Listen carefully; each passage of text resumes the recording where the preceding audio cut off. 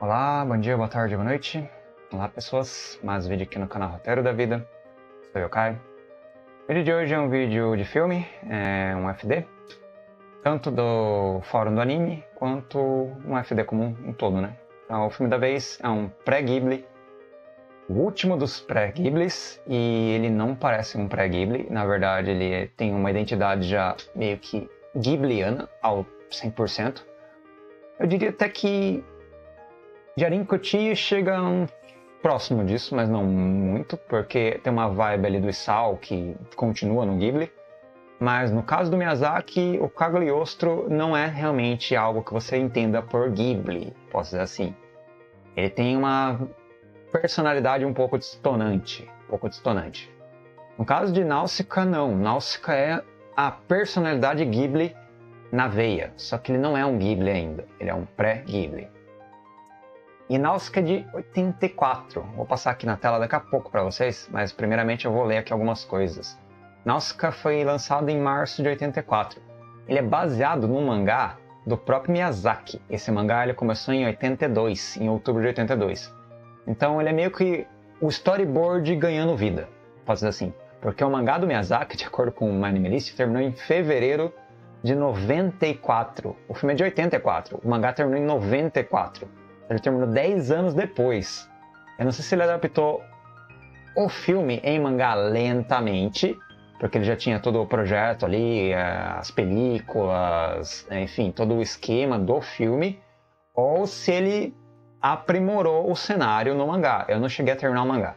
A Conrad lançou o mangá, só que a Conrad parou no volume 5. Eu li só 1 do mangá, se eu não me engano, eu li 1 só. Aí eu comprei até onde deu, mas aí parou. Agora, se eu não me engano, a JBC vai relançar, ou tá relançando. Eu vou esperar acabar para comprar inteiro, ou pelo menos comprar os volumes que eu não tenho. Que eu acho que é o 7 e o 6. E é onde a Conrad parou. Ou 7 só, não sei se a Conrad parou no 6. Às vezes a Conrad parava bem queima-roupa, assim. Acho que um mangá chamado Kill, Kill alguma coisa, ela parou no volume 6 de 7. Acontece. Enfim. Então esse mangá, ele não é apenas a ideia original posta em desenho ele é meio que concomitante à estruturação própria do enredo do negócio. Ele é meio que paralelo. Isso aconteceu também com Little White Academia, se eu não me engano. É uma coisa bem comum se fazer. Tipo, um autor ou um grupo de pessoas tem uma ideia, essa ideia é paralelamente feita de maneira artística no mangá e paralelamente feita em mídia audiovisual. No caso de Náusica, mídia audiovisual. E é um projeto que, embora não seja Ghibli, ainda não é Ghibli, é tipo completamente Ghibli. Náusica é completamente Ghibli. O nome do, do negócio certo, correto é Casa no Tanino Náusica. Em inglês, Náusica of the Valley of the Wind. Náusica do Vale do Vento em português. E por que que é isso? Náusica é o nome da protagonista, Vale do Vento é o local onde ela mora. Então, Casa no Tani é o local onde ela habita. É tipo aqueles esquemas do Miyamoto Musashi. Se eu não me engano, a vila de Miyamoto ou a vila de Musashi. Não, acho que o nome é o nome da vila que vem primeiro. Então, Musashi é o nome da vila. E Miyamoto é o nome particular do cara. Então tem esse esquema no, no caso da Náusica, no nome do título do filme, né? Porque parte do, do título do filme parece que seja junto ao sobrenome da Náusica. Eu acho que ela, o sobrenome dela é Casa Notani. Entendeu? Náusica Casa Notani. Por quê? Porque ela vive no Vale do Vento. Talvez, eu tô chutando aqui, que é uma puta de uma hipótese. Mas voltando. O que é Náusica em si? Náusica em si é a alma Miyazaki, é a alma do Ghibli. É o tipo de estilo que não se consegue desvincular depois. Ela é a princesa desse reino do vento. O reino do vento é um vilarejo, uma comunidade de duas mil pessoas no máximo, pós-apocalipse.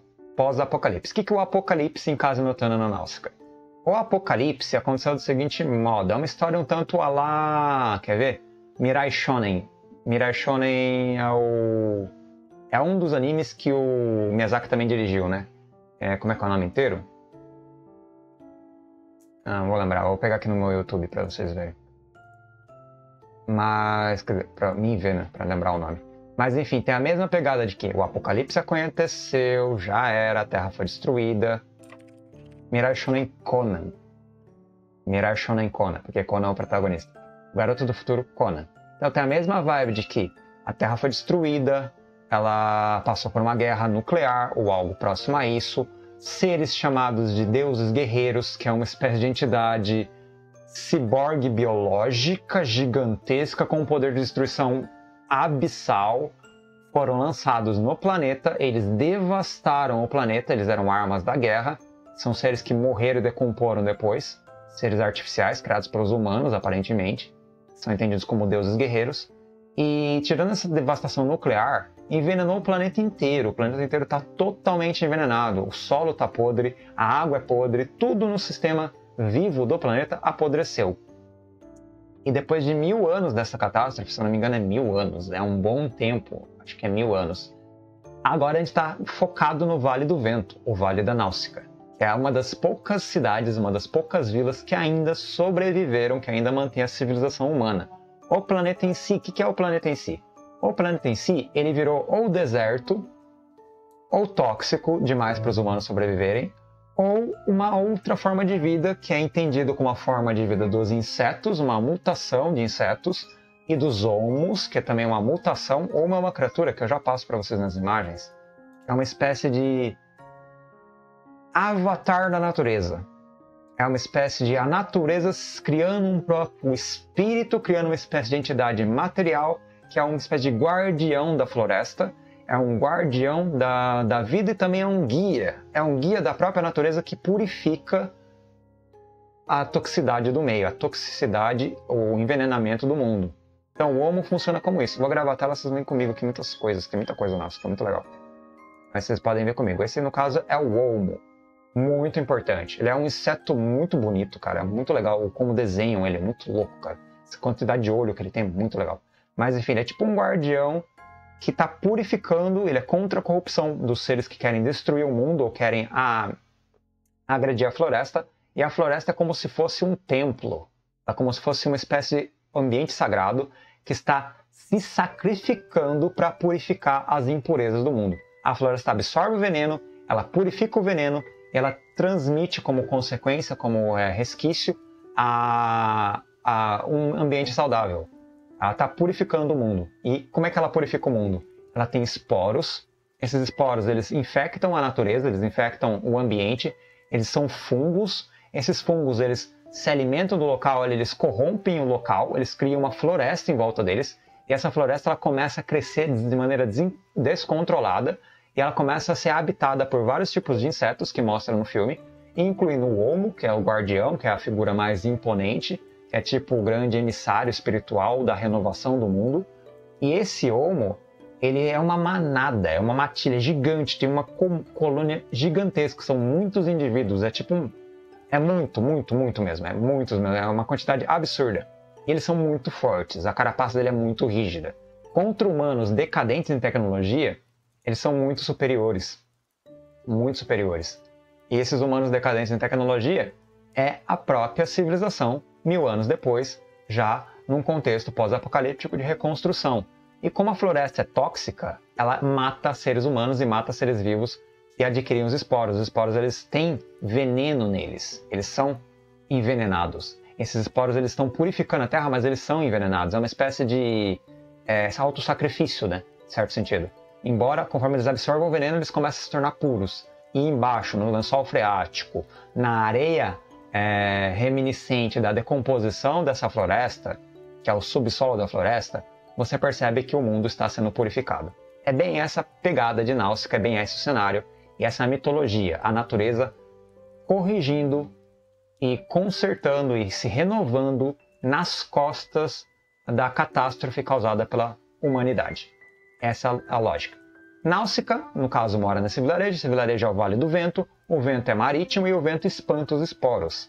É tipo um oásis, onde nada de mal acontece, onde não chega nenhum tipo de ser maligno. Se chegar um esporo que seja, esse esporo ele infecta as árvores, infecta o solo, ele começa a proliferar descontroladamente, ele é um parasita ele destrói qualquer tipo de ambiente tóxico. Por que ele destrói qualquer tipo de ambiente tóxico? Porque o mundo inteiro está contaminado.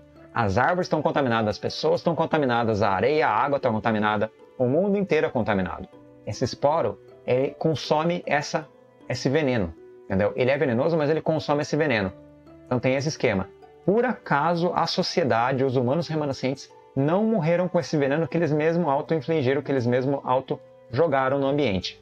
Sejam da Vila do Náusica, da Náusica, que é a Vila do Vento, que por acaso também é meio imune aos esporos, entre aspas, seja outros vilarejos militares, que tem aqui os nomes deles aqui no coisa, que é o reino de, deixa eu ver, vilarejo militar remanescente de Tolméquia. Tolméquia é tipo um império de Tolméquia.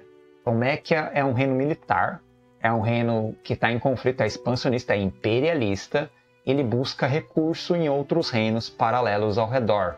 Ele busca destruir a floresta, queimar a floresta e destruir esses seres que intoxicam, que infelizmente eles parasitam qualquer tipo de lugar onde esses esporos caírem.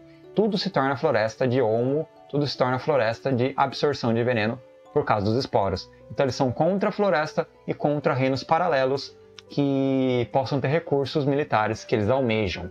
E o reino de Tomekia tem uma princesa chamada Kuchana. A Kuchana, ela é tipo. Só mostra ela, na verdade. No mangá deve ter mais detalhes sobre a hierarquia real, outras coisas. No anime, no filme, ele é muito centrado na espinha dorsal do negócio. Tem muita informação que falta em Náusica. Náusica não é nada perfeito, nada completo, o filme. Ele é bem simplificado. Ele é ótimo, mas ele é muito simplificado. A gente não conhece o reino de Tomekia de verdade. A gente só conhece a princesa e o exército que ela envia para Pegite. É Pegite, se não me engano, né? Deixa eu ver o nome do. Pegite. Pegite é uma outra cidade que por acaso tem uma relíquia. A relíquia é nada mais nada menos que um guerreiro. Um guerreiro deus, um deus guerreiro. Esse deus guerreiro é a arma de destruição que Tolmekia ambiciona para usar contra a floresta. Ela quer destruir a floresta, destruir os homos, destruir essas parasitas, pode dizer assim, que estão ameaçando com o veneno. Eles não sabem que eles estão sugando o veneno e purificando o planeta, mas estão ameaçando com o veneno porque eles envenenam e matam as pessoas. Tanto é que em Náusica todo mundo, quando entra na floresta, entra com uma máscara no rosto, uma máscara de, de, de respiradouro e de um óculos também, porque senão você vai ser envenenado. E pessoas que moram perto da floresta ou que adentram muito, com muita frequência, esse ambiente inóspito, eles ganham a característica de uma rigidez no corpo, eles são envenenados lentamente. Tanto é que o pai da Náusica, que é o rei do Vale do Vento, ele está envenenado e está definhando por causa que ele explorou demais a floresta dos Olmos, a floresta venenosa. A floresta, digamos, é, que não deveria ser explorada. Entretanto, a floresta é explorada por quê? Porque ela tem recursos naturais. Entre esses recursos naturais, tem a própria carcaça dos Olmos, que a própria Náusica, numa das suas viagens dentro da floresta, encontra. Ela encontra uma carcaça de Olmo lá dentro uma carcaça abandonada. É como se fosse uma troca de pele, na verdade. Não é uma carcaça de que ele morreu, é uma troca de pele. Ela encontra isso é muito valioso para vários tipos de manufatura, para vários tipos de trabalho é, humano sobre o material. E entre outros recursos que tem na floresta também. Só que a floresta é venenosa, então você não pode ficar lá muito tempo. Se você se envenenar gradativamente, ela te mata. Ela decompõe o seu corpo, ela deixa seu corpo rígido, na verdade. Ela enrijece seu corpo e te define, faz você definhar. Tem uma, um, bando de velhos e anciões em, no Vale do Vento, os anciões que a Náusica ela leva junto em um momento do filme para serem sequestrados. Eles são sequestrados junto com ela, né? Pode dizer assim. E ela leva esses anciões. Esses anciões, eles estão envenenados. Eles são que nem o pai dela. E o que acontece? Que ah, o reino de Tomekia, ele ataca Pegite. Pegite foge. Foge com, com a princesa deles sendo sequestrada e com o deus guerreiro deles também sendo roubado na nave de Tolmekia. Essa nave de Tolmekia, que já tinha atacado o Pegite, tinha destruído o Pegite, tinha dominado o Pegite, tinha se tornado uma espécie de ditadura lá. Eles tinham controlado o território. Sequestrado a princesa e roubado o deus guerreiro. Esse deus guerreiro, por algum motivo, eles adentram na floresta ou passam perto de uma floresta e a nave é atacada atacada por os insetos, é, digamos, do mundo mais selvagem. Esses insetos derrubam a nave de Tolmekia onde está é, transportando o deus guerreiro e a princesa do reino de Pedite, de Pegite. A princesa é irmã do Asbel. Ela, ele também é um príncipe. Ela é irmã do Asbel. O nome dela é Rastel. Rastel é o nome da princesa, é a irmã gêmea dele. Vocês podem ver aqui. E essa nave cai exatamente no Vale do Vento. A nave de Pegite, ou nave no caso de Tolmekia, sequestrando o deus guerreiro. E a princesa cai, é derrubada por esses insetos no Vale do Vento. O Vale do Vento é um vale neutro, ele não é politicamente guerreiro, ele é simplesmente uma comunidade que sobrevive e explora, explora no sentido de subsistência, o meio ambiente e vai levando a vida nesse cenário apocalíptico, simples assim. O de Tomekia chega lá e fala: agora vamos tomar de volta o Deus Guerreiro, que é um recurso nosso, vamos dominar o seu vale, vamos usar os seus recursos, a gente faz o que a gente quiser com você porque a gente tá nem aí. É um reino imperialista militar. Ponto final. E nisso eles matam o pai da, da Náusica. Assassinam o rei. Isso é importante, assassinam o rei. No mangá deve ter um desenvolvimento maior disso. No anime ele fica bem pontual mesmo. E a saga do filme é a Náusica, é, não em jornada de vingança, mas interagindo com esse contexto, com esse conflito, que é ela ser uma princesa, ela está inserida dentro desse conflito de recursos ali entre o reino de Tomek e Pejite, a guerra entre Tomek e Pejite. Pejite consegue aprender a controlar os homos, entre aspas, controlar no sentido de deixá-los furiosos, virar, deixar eles no estado de berserker, que é muito interessante o estado de berserker deles. Eles atropelam tudo inconscientemente, eles sacrificam, são suicidas, eles vão embora e varrem o cenário, eles literalmente varrem tudo que passam pela frente, eles atropelam tudo, e Pejite usa isso aí para destruir o próprio reino. É um auto-suicídio. Eles destroem o próprio reino e destrói junto do próprio reino os invasores. Eles destroem o exército de Tomekia, que estava lá instalado no reino deles, junto com o próprio reino. É ridículo, eu sei, mas eles fazem isso. E depois eles usam a mesma estratégia para derrubar é, Náusica, para derrubar uh, o Vale do Vento da Náusica, a casa dela. Para derrubar a casa dela, eles vão lá e contra o exército de Tomekia, matando, usando de, de, de efeito colateral, toda a população que mora ali no Vale do Vento. Eles matariam, eles destruiriam o vilarejo. Na cara de pau. De acordo com o general deles, né? Não com o Hasbel. O Hasbel, o Hasbel é gente boa. O Hasbel é, é legal, ele não quer isso, né? Ele não quer esse tipo de conflito. Mas o general deles é porra louca. Então tem isso aí. E nisso você descobre, aí nessas incursões da Náusea com Asbel, na fuga, no conflito dela das naves, né? visitando a floresta também sem querer, caindo ali de acidente, né? Porque a nave que estava sequestrando ela foi atacada por Pegite, no caso o Asbel. O Asbel derrubou toda a frota sozinho de Tomekia, que é uma frota muito frágil, os aviões são patéticos, mas ele derruba e acaba sem querer jogando os amigos da Náusica, que são os reféns, junto para a floresta é, inóspita, floresta tóxica. E a Náusica vai resgatar os reféns lá e tal, e aí ela descobre, junto com Asbel, que também caiu nessa, nesse, nessa floresta, né, porque ele foi abatido, a nave dele foi abatida.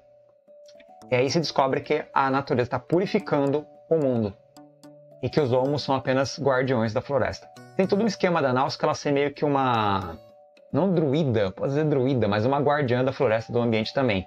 Fora que é um personagem, ela, a Náusica, extremamente foda, extremamente bonita, legal, assim, carismática, é, corajosa, é, com, tipo, é muito... Eu gosto muito da, da do, do, enfim, da estrutura da personagem Náusica e dos outros personagens por tabela também, mas a Nausicaa em si é um personagem que eu gosto demais. E é o tipo, é... pode-se dizer que é o perfil Miyazaki de fazer protagonista, sabe? Ele é ótimo em fazer protagonista. Ótimo. Isso aqui é, é o Miyazaki fazendo aquilo que ele sabe fazer. Entendeu? Boas protagonistas femininas e fortes. E é muito boa a Nausicaa. E no fim do filme, sem falar muito mais dele, né, sem dar muito mais spoiler, é a decisão do conflito quando conseguem despertar o deus, guerreiro, quando os homos são arremessados contra o vilarejo do Vale do Vento, a Náusea impedindo, entre aspas, sendo atropelada e impedindo, não sei como ela não morreu ali, mas enfim, parando o avanço dos homos, salvando um dos filhotes dos homos e descobrindo também que os homos eles têm poderes de regeneração, eles podem curar as pessoas, isso é muito legal. E eles são seres de fato mais guardiões mesmo, não tem muito o que falar. Tem um outro personagem que é muito legal, que é o Espadachim. O Espadachim, deixa eu ver se tem o nome dele aqui. O Espadachim é o Yupa. O Yupa é muito legal também. Ele é tipo um senhor, né? Um, um grande, lendário guerreiro, que é o guerreiro mais forte do mundo, de acordo com o que fala no, no anime, o melhor espadachim do mundo. E tem a luta dele contra os militares de Tomek. É bem pontual, assim, é bem interessante, porque ele domina um barco, uma nave inteira sozinho. E ele é tipo um explorador, ele é tipo um nômade. Ele faz, ele é bem nômade mesmo. Ele tem lá o seu, a sua montaria, ele vai para a floresta, de vez em quando ele quase se fode, sem querer. É, e ele dá também, ele resgata, não sei da onde ou como, esse ser vivo aqui chamado Teto, que é o mascote da Náusica. Que é um tipo de um, digamos, um gatinho, né? Não é bem um roedor, é mais ou menos um gatinho. Algo próximo a um gato, né? Ou algo do gênero, dessa raça ali felina. É um gatinho muito fofo, é um mascote bacana. Ele que dá, o Ilpa dá pra Náusica esse mascote. O mascote é muito fofinho. E pondo também, não podemos esquecer de falar, das naves em Casa Notashi na Náusica. As naves são muito lindas. As naves da Tolmekia, que são aquelas coisas robustas, violentas, brutais, e o planador, cara. O planador é fenomenal. Planador, entre aspas, né? Porque ele tem motor, mas é, é um puta do. É, sim, Miyazaki, quando fez isso aqui, estava muito inspirado, cara. Porque ele é ótimo em fazer isso, mas quando ele fez isso aqui, é a minha nave preferida de todos os filmes dele. Esse planador é a minha aeronave preferida de toda a obra do Ghibli, ou no caso pré-Ghibli também. E eu adoro esse planador, cara. É muito legal. E tem a nave também, que não é o planador, que é, é um avião mesmo, que é um avião de combate, que tem uma forma de revólver. Não vai ter imagem aqui, eu acho. Mas a forma de revólver dele também é muito legal, aquele design dele. E o design das naves de Tom Mac é tudo genérico, né? Umas naves bem pesadonas, bem violentas e tal. Mas o nave de revólver é mó legal, acho que não tem aqui. É essa nave que ela tá dentro, mas não vai aparecer aqui. É uma nave muito legal. A nave aqui também, vocês podem ver um pouquinho dela. Vou comentar isso aqui. Essa nave aqui é muito legal. Ela tem um cockpit e um cockpit atrás. E ela é uma nave de, de atirador, né? Uma nave muito poderosa. Ela é muito ágil, é um caça, né? Uma nave caça. Então é uma nave da hora pra caramba. Falando um pouco das, das engenhocas do Miyazaki, as engenhocas do Ghibli, e principalmente da fantasia, é, digamos, como é que pode, steampunk, posso dizer assim, que o Miyazaki flerta muito com steampunk, né? Com vaporpunk. Então ele constrói umas coisas fenomenais. A princesa do Tom Mac, ela não tem um braço, ela tem um braço mecânico, não sei como ela mexe aquele braço mas ela tem um braço a menos, ela é toda, digamos, é, com a palavra, é, violentada pelo corpo dela, é todo deteriorado. Não sei se por veneno ou por guerra, mas é uma pessoa de, desconfigurada. Ela é, ela desconfigurada é uma palavra estranha, desfigurada, desfigurada. Ela tem o corpo desfigurado por lesões não chega a mostrar, mas ela é toda arrebentada, coitada. A princesa de Tom Mac. Embora ela seja uma princesa bem, bem problemática, assim. E embora ela abandone a guerra no finzinho, no filme inteiro ela é uma conquistadora, no filme inteiro ela é imperialista. E ela é violenta, e ela é brutal, e ela mata mesmo, assim como o Pejite. Os Pejite também matam mesmo. Esse cenário ele é um cenário bem é, adulto, ele é um cenário denso, ele não é um cenário bonzinho. É um cenário que as pessoas matam mesmo. Sim, é bem impiedoso. E tem o braço direito dela, da princesa de Tolmekia. Ele é um cara. Ele não é ganancioso em si, mas é um cara espertinho, cara. É um cara meio liso. Ele pensa que ela morreu um momento lá, que a princesa tinha morrido. Ele tava meio que se acostumando em ser o comandante, em ser o novo é, líder, pode dizer assim. É bem engraçado essa parte até. Então tem todo esse esquema aqui de Casa Notase Náutica. Casa Notani na Náusica. Nossa, falei um monte de vezes errado o nome do negócio. Enfim, tem todo esse esquema aí de ser um cenário ótimo, de um contexto assim de, de estrutura narrativa muito boa, muito bem feito, muito bem apresentado.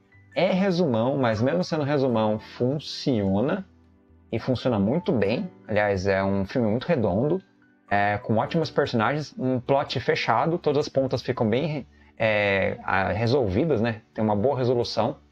É um cenário fica em aberto, é claro. Você não sabe o que acontece com a Náusica, você não sabe o que acontece com os reinos, você não sabe se eles vão voltar a fazer guerra. Você só sabe que os deuses guerreiros acabaram e que você entende que o mundo está se regenerando. E isso é um desfecho muito legal.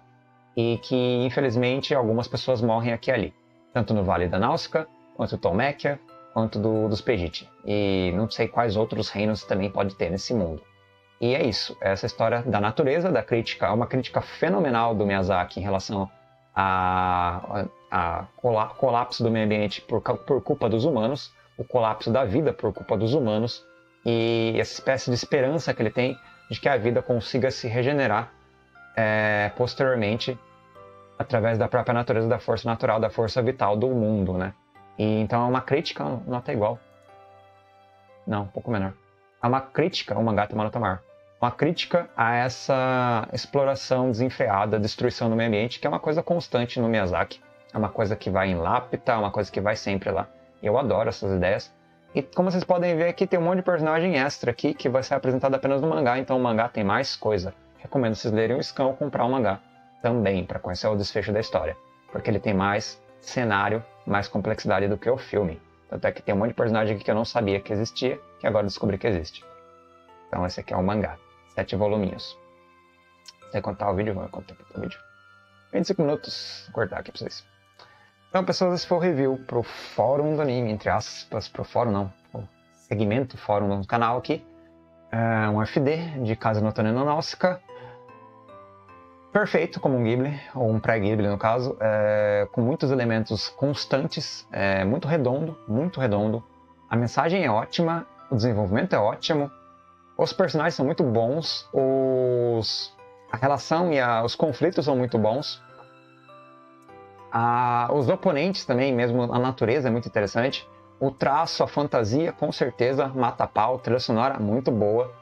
E infelizmente é antigo anime, então ele tem alguma animação que às vezes, pelo menos depende da fonte que você pegar do anime, é um pouco datada, é um pouco rústica, pode dizer assim, mas é muito bem feito mesmo assim é, a, o desenho, né? Os desenhos são muito bem feitos, embora a animação possa deixar a pecar muito pouca coisa, porque o Miyazaki é muito competente mesmo, então é, não, não, deixa a desejar, não deixa a desejar nem um pouco.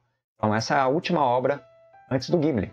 Depois todos os outros filmes são Ghibli. Já está na marca, já está dentro da companhia, já tem a identidade. Nem todos são do Miyazaki, alguns são do Isao, bem poucos na verdade, o Isao faz pouco filme em comparação com o Miyazaki.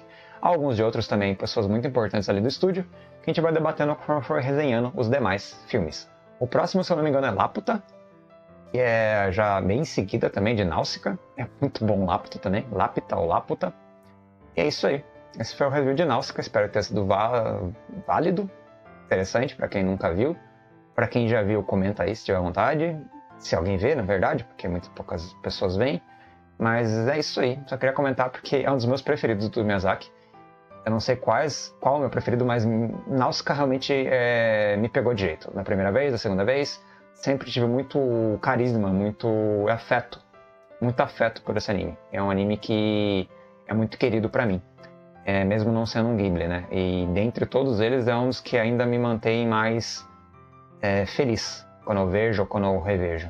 Então eu gosto muito da, daquele cenário, desse cenário eu gosto bastante. É isso, em geral é isso. Tem todos os esquemas internos ali que eu acho o máximo, ah, mas são detalhes internos, não necessariamente tem que ficar comentando todos eles. E eu vou ter que ler o mangá direitinho depois. Pra... Talvez eu comente o mangá também, eu posso ler o mangá um dia e comentar um pouco sobre a expansão dos momentos, elementos diversos. E é uma boa ideia mesmo, vou ler o mangá quando, quando terminar de lançar eu comprar também, eu pego pra, pra fazer um review. Então é isso aí, brigadão, até mais, até o próximo review de Ghibli daí, é Ghibli de verdade. E no fórum do anime também. Falou pessoal, até mais. E é isso aí.